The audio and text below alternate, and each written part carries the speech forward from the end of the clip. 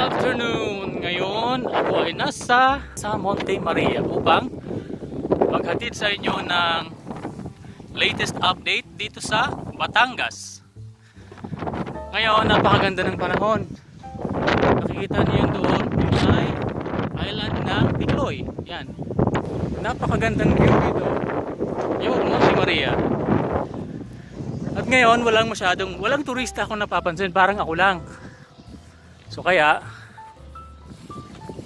So kaya ay uh, uh, kukuha tayo ng konting video.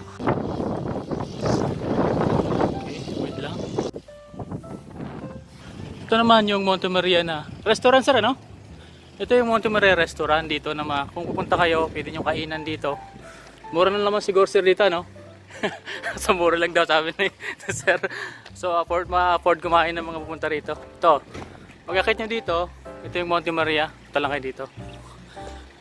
Saka napakaganda ng view dito. Tingnan nyo naman yung Batangas Bay. Oh. Ganda dito. Saka dito, yung stairs. Ito yung simbahan. Yun yung simbahan, maliit. Pero yun, doon tayo pupunta sa malaking yun. Yung, yun. Yung mismong doon, ano, yung iconic na, ano, statue. Actually, para sa building. Kasi may mga ano siya, oh. Mga salamin siya sa harapan niya. Tignan natin. Ito yung stairs. So ayan. Ito yung view dito sa at doon naman yung Mindoro. Yung yung island na yun. Yun yun yung Mindoro yun yun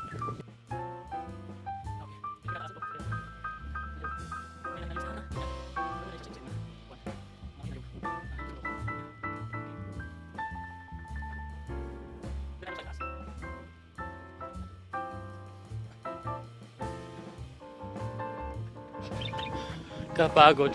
Ayan. Ayan. Yun ang island. Okay.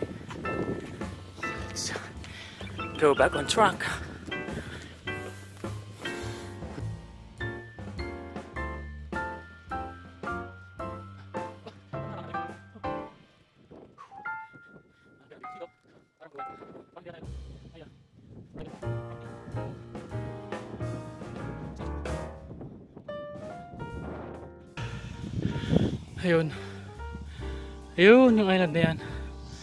Ganda.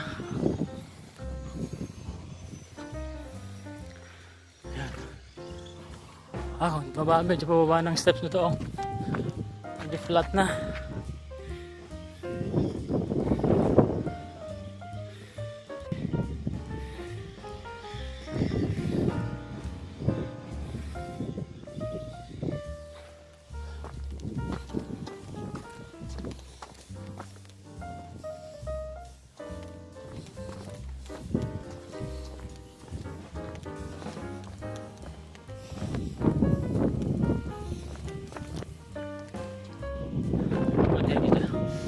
Okay mga ka-solo traveler, malapit na tayo. Ayan. Ang iconic na Monte Maria here in Batangas. Okay. Ganda ng view dito pag nasa taas ka. Super sulit ang iyong punta dahil hangin, malamig, at nakikita mo pa yung ano, overlooking yung ano, bayan ng Buwan, Mabini, doon. Yun ang magkaan. Batangas City. Yun. Babaan pa pala doon. Lalim ah. Lalim yan. Ayan.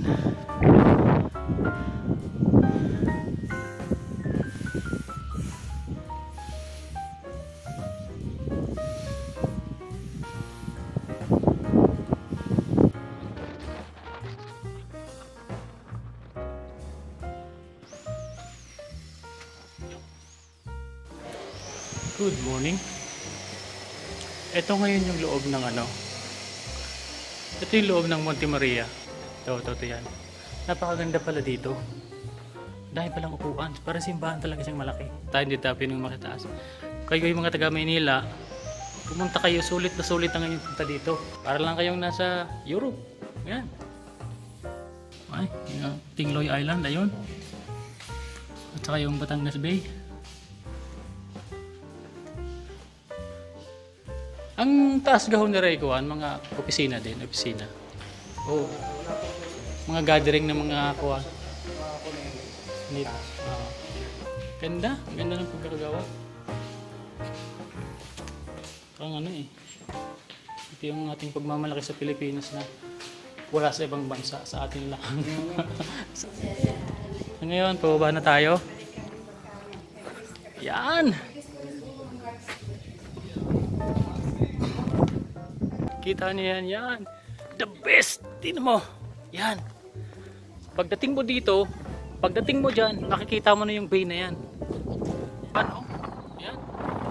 Parang diving Pwedeng diving spot ito, ito, ito. Yan, kita mo yan. Sana yung kumay ko. Yung daliri ko. Where's my daliri? Yan. Yun, pwede yung diving spot. Oh. Yun, yun.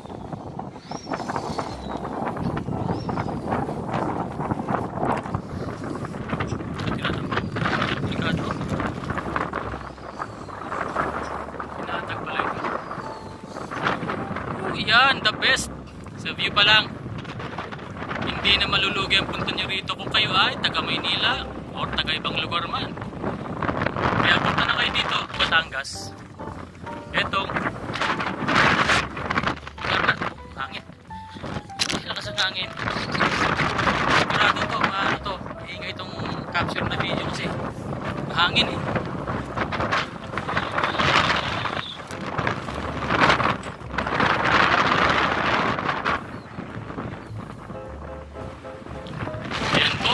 Kaibigan. Uy, lalim nito. Lalim ah. Parang lalim oh. Inaagos doon.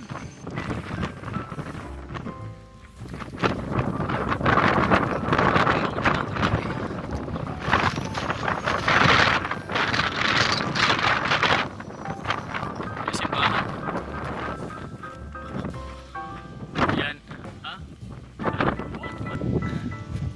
Mga local tourist yan. Local tourist din.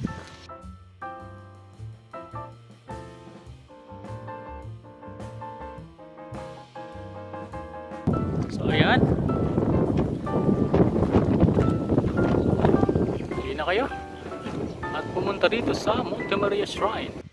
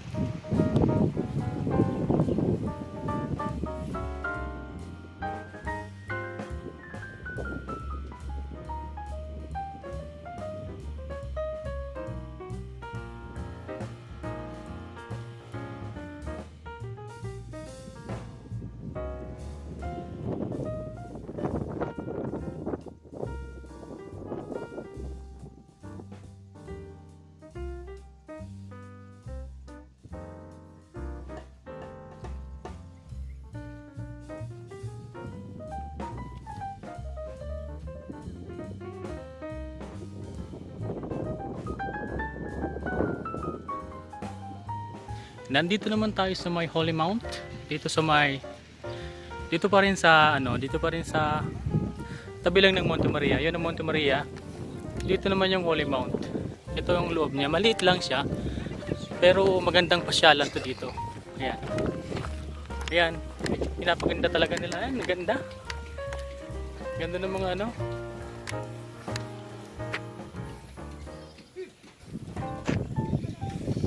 Time lapse tayo dyan. Kuha tayo ng video dito. Time lapse.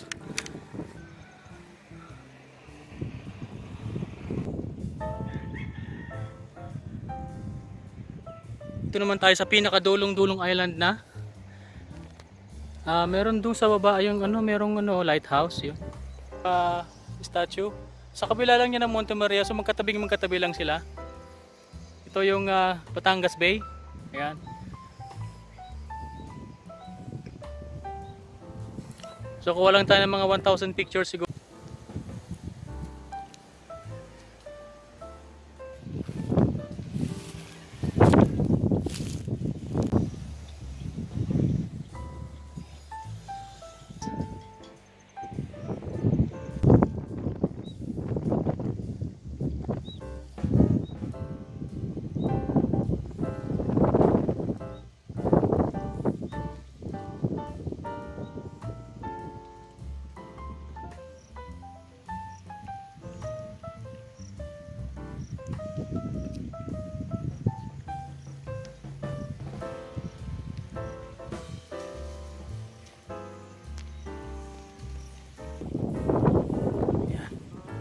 Sunset na tayo.